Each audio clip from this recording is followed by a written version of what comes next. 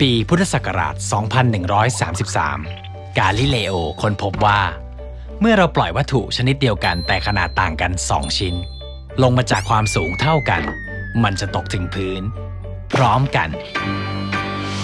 แต่ถ้ากาลิเลโอมีชีวิตอยู่ถึงพศนี้ เขาจะค้นพบว่า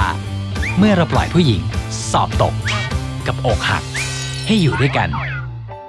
พวกเธอจะหนีไปพร้อมกัน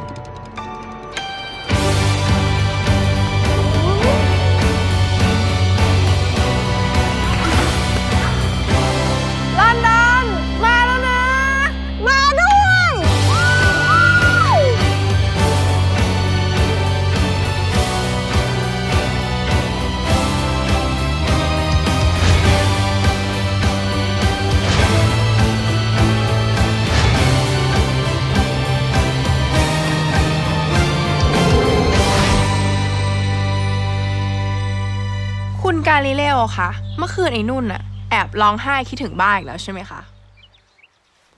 หนึ่งสอง